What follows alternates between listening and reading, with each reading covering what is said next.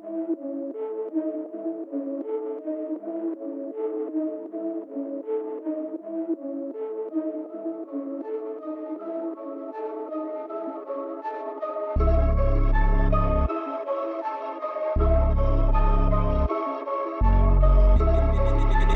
JD Sounds.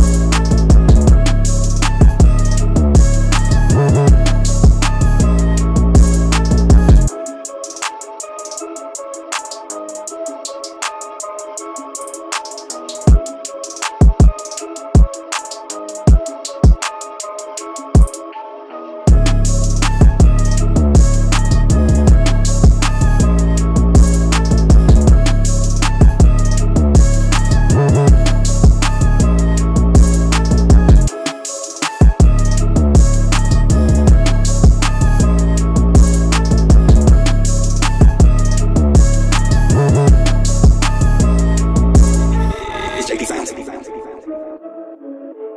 Hellground.